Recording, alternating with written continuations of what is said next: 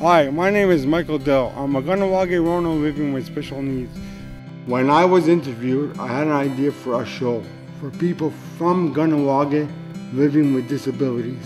Today is the start of that show, Walk in My World. Often, people with disabilities lead sheltered lives, and their interactions are limited to caregivers and family members. I hope this show will bring you awareness of these people, their families, their lives, and their dreams for the future.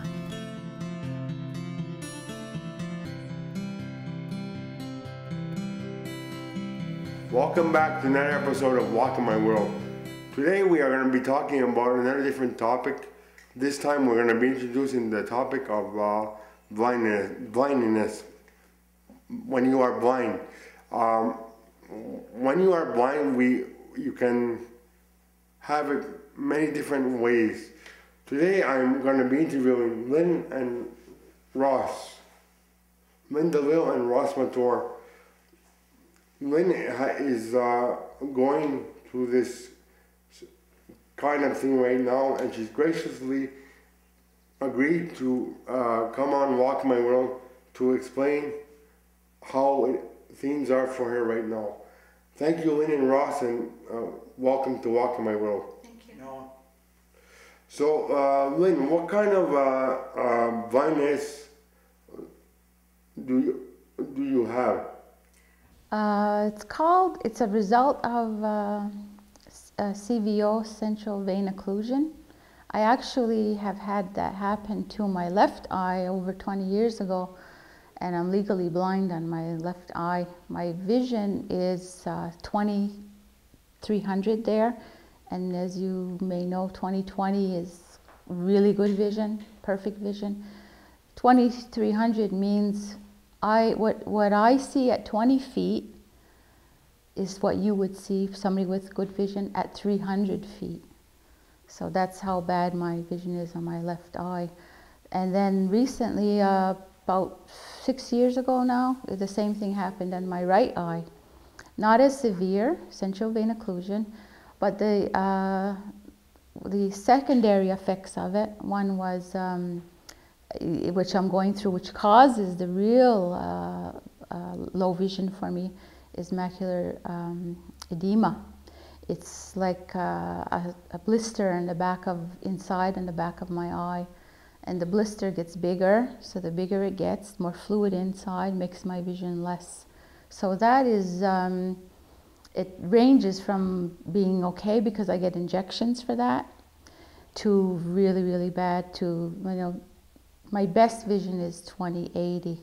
But initially, because of the central vein occlusion, I have lost permanent vision. I see, I do not see some things, for like for instance, reading. Then the second letter or the third letter is completely gone. So it's very difficult for me to read, even with glasses that and magnifying glasses that help me. My eye has to keep constantly moving to see the next letter uh, contrary to how it used to be, where you just kind of scan very easily.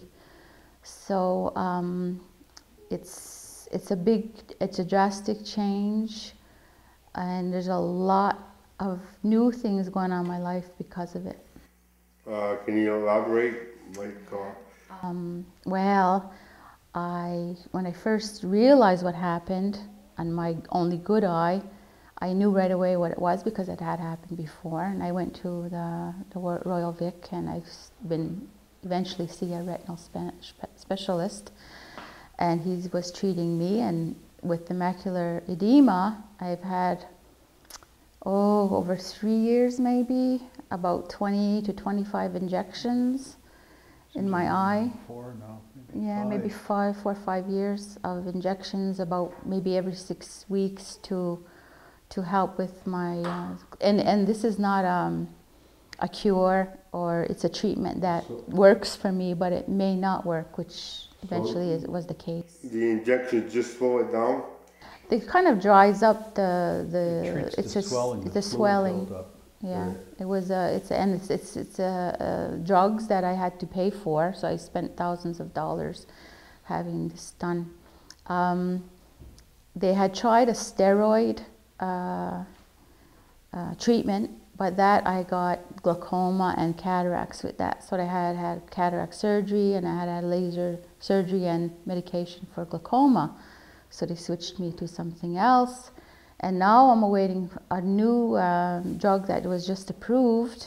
Uh, there's a launching at the end of this of June this this month, and uh, it's, it's an implant in my eye of a slow release steroid med- medication that may help, and it would last from five to six months, and that would give me vision, my the best vision I would have, which is maybe 20/80, and because it's not anything that's really functional per se. I went to the Montreal Association for the Blind for services, and they immediately took away my driver's license. So that was about the biggest change. Oh, no. Yeah, that was a major, major loss of depend, uh, independence and um, you know, ch- real changing uh, a life for me. That that part. So um, I'm coping, I think, very well because Ross is uh, my chauffeur now, for one thing. And I had to not work, uh, you know, the usual way. I work on the computer at home and do my banking there online, and I find that very difficult. For and then just the regular everyday routine things at home, cleaning, even washing the dishes. Uh, you know, sweeping the floor, dusting. I can't see any of those things, you know, to do it properly. And I'm always getting, will you not please do the dishes anymore? you know, things like that. And uh, I think I, I met somebody in town going through a kind of a similar thing, a severe loss of vision. We were talking, and I, and I said to her, because this is it, you know what the worst thing about it is? And she blurted out immediately, everybody thinks you're a snob. I said, yeah. You can't, I can't, Mike, you're this far, I can hardly see your face. So I really can't see people, uh, maybe six feet away, and I don't say hello, and I don't acknowledge them, and unless they acknowledge me. And I find that very frustrating and difficult because I like to, I'm a social person, and I like to um, uh, talk with people, and it's very, very difficult to think that, you know, what's wrong with me, or, you know, uh, how come I'm not saying hello, and things like that. So that, that's, that's really hard. And one funny thing about it, though, is that when Ross is driving me around in the car, he'll say to me, wave. So I'll wave, like I said, to who? He goes, I don't know. I don't know their name, but I know you know them. Like, oh my goodness, it's so hard. A lot, So- a lot of times, you know, people people see her and they say hello, and it's you know it would be like, how come she's not saying hello? And I'm like, who's that? Who's that? I don't know, but if you could see them, you'd know who it was.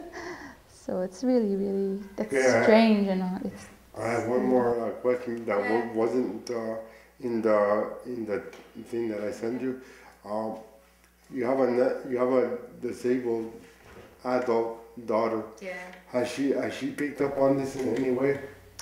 I don't think so. You know, because um, what I count on now is more, uh, and I, I, in so many other ways, I, I kind of focused on my sixth sense, I call it. Yeah. You know, and Sarah has this um, communication thing with me, I guess her mother especially, that goes without saying, you know, or seeing that we kind of in sync with each other. She has a lot of assistance though with other people coming in, and we have a routine. Sarah is, you know, into routine, so everything that we do together that she has in her room and her daily routine is, you know, something that we have down pat. So Yeah. it's not, uh, it's, you know, cooking is a little bit hard, you know, but I, I manage, and Ross too, you know, helps out with all of that. uh, of course, driving her around, I can't do that anymore. But uh, overall, uh, uh, taking only like the connection between you and her hasn't changed because of your I don't think. so. physical limitation. I know. You know what? I think maybe in a way it's gotten better because I, I'm home a lot now. Mhm. I, I can go out in the car. I don't go to work per se, you know, every day like I used to. So I'm home a lot. I think it actually is a lot better for everybody in my house. Uh, kids, I'm, I'm, I mind the grandchildren. and I have uh, taken on some foster kids. Since I'm home, I might as well do something like that. But one more thing that I find difficult is I have uh, two young, very young grandchildren, and I feel very uh, insecure about watching them, minding them by myself, because I don't can't see, you know, exactly what they're up to, and I can't see that they have cookie, chocolate cookie marks on their face when their mother comes, and I say no, they didn't have any cookies, and they did. because I forget to wipe because I don't see it. Okay. So it's Is there is, is is there is there days that you feel, oh my God, yeah. uh, why me?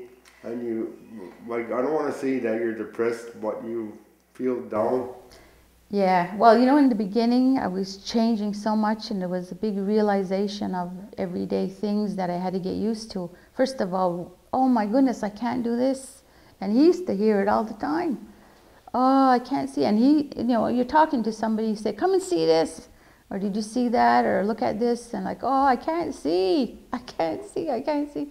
I was always saying that to remind people because I don't look like I can't see you know so I, I find it really really hard to adjust to Like things, a new life you know things too. Like um, she she would do a lot of things with writing.